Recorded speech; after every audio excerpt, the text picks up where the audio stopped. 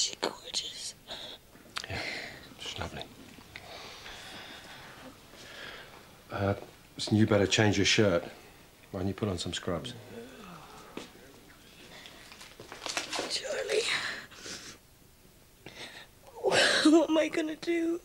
I haven't got anything for her. I don't know where to start.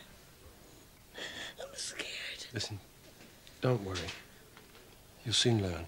You learn when you have a baby because you have to. Have you got anyone who can help you look after her?